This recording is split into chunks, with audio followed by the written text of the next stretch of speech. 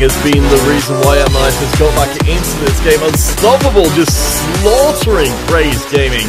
Will finally find his maker. But IMF, they're sitting pretty now. Two minutes left to play and ahead by seven. But IMF, they're so close to 50. They have rounded